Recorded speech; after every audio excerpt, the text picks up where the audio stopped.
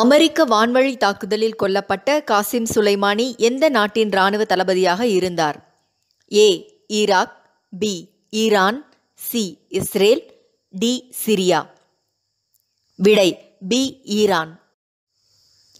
ஈரானோட சக்தி வாய்ந்த இராணுவ தளபதியான ஜெனரல் காசிம் சுலைமானி அமெரிக்கா நடத்தின வான்வழி தாக்குதலில் கொல்லப்பட்டார். பாக்தாத் வானூர்தி நிலையம் அருகே ஈரான் ராணுவ வீரர்கள் பயணித்த வாகனங்கள் மீது வான்வழி தாக்குதல் நடத்த அமெரிக்க அதிபர் உத்தரவிட்டதாக கூறப்படுது. மற்றொரு தளபதியும் சுலைமானின் ஆலோசகருமான அபு மஹ்தி அல் முஹந்திசும் இந்த தாக்குதல்ல கொல்லப்பட்டார். காசிம் சுலைமானி இஸ்லாமிய புரட்சிகர காவல் படையின் குட்ஸ் படையின் தளபதியாக இருந்தார். மானவ் தாக்கர் எந்த விளையாட்டுடன் தொடர்புடையராவார்? A. பூப்பந்து B tennis C table tennis D squash விடை C table tennis table tennis போட்டியில் சிறந்து விளங்கும் வீரர் மற்றும் வீராங்கனைகளுக்கான தரவரிசை பட்டியலை சர்வதேச டேபிள் டென்னிஸ் கூட்டமைப்பான ஐடிடிஎஃப் வெளியிட்டுச்சு. இதில் இருபத்தி ஒரு வயதுக்குட்பட்ட ஆடவர் ஒற்றையர் பிரிவு தரவரிசையில் இந்தியாவின் மாணவ் தாக்கர் முதலிடத்தை பிடிச்சிருக்கிறாரு. இது தவிர இருபத்தி ஒரு வயதுக்குட்பட்ட ஒற்றையர் பிரிவு தரவரிசையில் முதலிடம் பிடித்த நான்காவது இந்திய வீரராகவும் இருக்கிறாரு. உலக பிரெய்லி நாள் கொண்டாடப்படும் தேதி எது? ஏ ஜனவரி இரண்டு பி ஜனவரி மூன்று சி ஜனவரி நான்கு டி ஜனவரி ஐந்து. விடை சி ஜனவரி நான்கு. பார்வை இழந்தோருக்காக பிரெய்லி முறையை கண்டறிந்த பிரான்ஸ் நாட்டைச் சேர்ந்த பார்வை இழந்த அறிவியலாளர் லூயி பிரெய்லியின் பிறந்தநாளை குறிக்கும் வகையில் ஒவ்வொரு ஆண்டும் ஜனவரி நான்கு அன்று உலக பிரெய்லி நாள் கொண்டாடப்படுது. ஆயிரத்தி எட்நூத்தி ஒன்பதாம் ஆண்டு ஜனவரி நான்கு அன்று வடக்கு பிரான்சில் உள்ள கூப்ரேவில் லூயி பிரெய்லி பிறந்தார். அவரது மூன்றாவது வயதில் எதிர்பாராத விதமாக அவர் தனது இரண்டு கண்களையும் இறந்தார். இதன் விளைவாக பார்வையற்றோர் தடவி பார்த்து படிப்பதற்கேற்ற பிரெய்லி முறையை அவர் கண்டறிஞ்சார். இந்த முறையில் ஒன்று முதல் ஆறு புடைப்பு புள்ளிகளையும் துளைகளையும் கொண்டு எழுதிய புதிய எழுத்துக்களை விரல்களை வைத்து தடவுவதன் மூலம் பார்வையற்றோர் புரிந்து கொள்வாங்க. உலக நலவாழ்வு அமைப்பான டபிள்யூஹெச்ஓவின் கூற்றுப்படி முப்பத்தி ஆறு மில்லியன் மக்கள் பார்வையற்றும். இருநூற்றி பதினாறு மில்லியன் மக்கள் மிதமான மற்றும் கடுமையான பார்வை குறைபாடு உடையவர்களாகவும் இருக்காங்க. ரெய்சினா உரையாடல் என்பது எந்த அமைச்சகத்தால் ஏற்பாடு செய்யப்படும் வருடாந்திர பலதரப்பு மாநாடாகும். ஏ. சுற்றுச்சூழல் வனம் மற்றும் காலநிலை மாற்ற அமைச்சகம். பி. வெளியுறவு அமைச்சகம். சி. நிதி அமைச்சகம். டி. பெருநிறுவன விவகார அமைச்சகம். விடை. பி. வெளியுறவு அமைச்சகம். ரெய்சினா உரையாடல் அப்படிங்கிறது மத்திய வெளியுறவு அமைச்சகத்தால் முன்னணி மதியுரையகமான அப்சர்வர் ஆராய்ச்சி அறக்கட்டளுடன் இணைந்து கடந்த ரெண்டாயிரத்தி பதினாறாம் ஆண்டு முதல் ஆண்டுதோறும் நடத்தப்படுகிற ஒரு மாநாடாகும். பன்னாட்டு சமூகம் எதிர்கொள்ளும் சவால்களை பற்றி விவாதிப்பதற்காக அனைத்து துறை சார்ந்த பல்வேறு தலைவர்களை இந்த மாநாடு ஒருங்கிணைக்குது. நேவிகேட்டிங் த ஆல்ஃபா செஞ்சுரி அப்படிங்கிறது ஜனவரி பதினாறு முதல் பதினாறு வரை புதுடில்லியில் நடைபெறவுள்ள இந்த ஆண்டிற்கான மாநாட்டின் கருப்பொருளாகும்.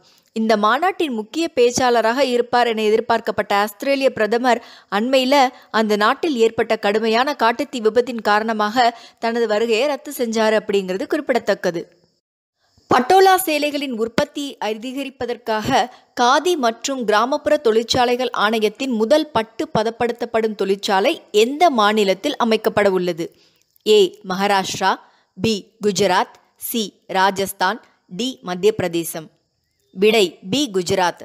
காதி மற்றும் கிராமப்புற தொழிற்சாலைகள் ஆணையமான கேவிஐசி குஜராத் மாநிலத்தின் சுரேந்திர நகர் மாவட்டத்தில் தனது முதல் பட்டு பதப்படுத்தும் தொழிற்சாலையை திறந்து வச்சிருக்காங்க. படோலா அப்படிங்கிறது குஜராத்தின் வணிகக்குறியுடைய சேலை வகையாகும். மிக உயர்ந்த விலையை கொண்டிருப்பதால இது ஓர் அரச உடையாக கருதப்படுது.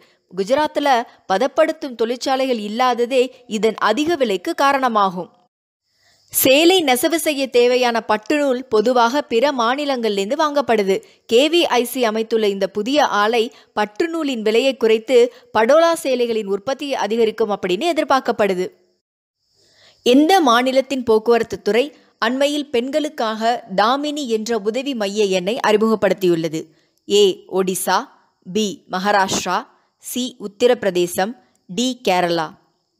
விடை சி. உத்தரப்பிரதேசம்.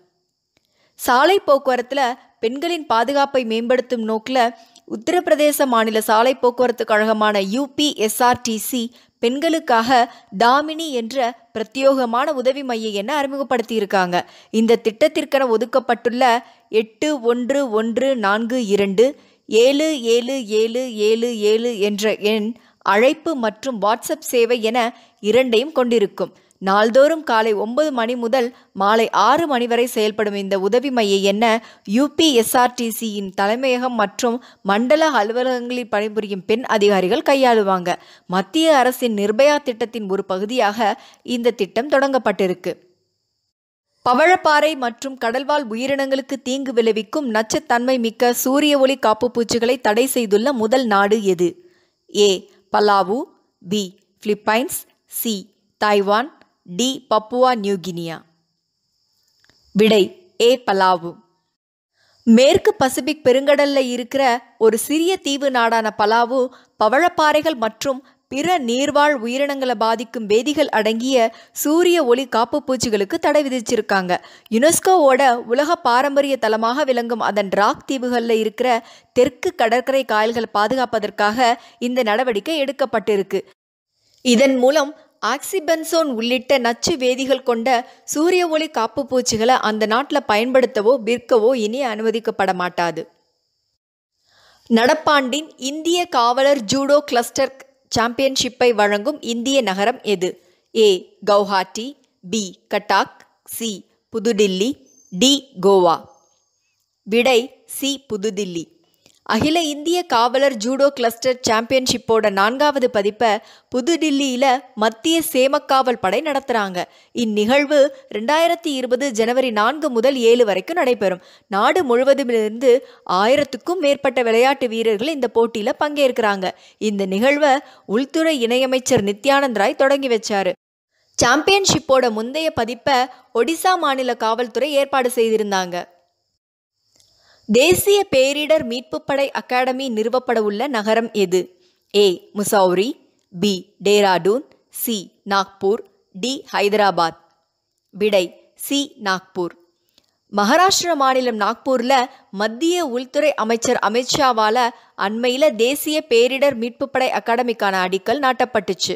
நாக்பூரை சேர்ந்த தேசிய தீயணைப்பு கல்லூரியின் வளாகத்தையும் அவர் அப்போது திறந்து வச்சாரு. இந்த அகாடமி பேரிடர்களை உருவகப்படுத்துவதற்கும் பல்வேறு மீட்பு நடவடிக்கைகளில் பணியாளர்களுக்கு பயிற்சி அளிப்பதற்குமான அதிநவீன உட்கட்டமைப்பை கொண்டிருக்கும். பேரிடர் மீட்பு தொடர்புடைய நடவடிக்கைகளுக்கான அர்ப்பணிப்பு ஆற்றலாக விளங்கும் தேசிய பேரிடர் மீட்பு படை ரெண்டாயிரத்தி ஆறாம் ஆண்டில் தொடங்கப்பட்டுச்சு. அண்மையில் காலமான ரத்னா ஓஜா எந்த மாநிலத்தை சேர்ந்த நாடக கலைஞரும் ஆர்வலருமாக இருந்தார்? A Odisha B Meghalaya C Assam D மேற்கு வங்கம். விடை சி. அசாம். மூத்த நாடக கலைஞரும் அஸ்ஸாமை சேர்ந்த சமூக ஆர்வலருமான ரத்னா ஓஜா கவுஹாட்டியில் காலமானார். மாநிலத்தின் நாடக இயக்கத்தை புதுப்பிப்பதில் அவர் ஒரு கருவியாக முக்கிய பங்கு வகித்தார். குடியுரிமை திருத்த சட்டத்திற்கு எதிரானது உட்பட நாட்டின் பல சமூகம் சார்ந்த பிரச்சனைகளில் ஆர்ப்பாட்டங்களில் அவர் தீவிரமாக பங்கேற்று உரையாற்றியிருக்கிறாரு. நாடக கலைக்கு அவர் ஆற்றிய பெரும் பங்களிப்புக்காக அஸ்ஸாம் மாநில அரசால அவருக்கு நடா சூர்யா விருது வழங்கப்பட்டுச்சு.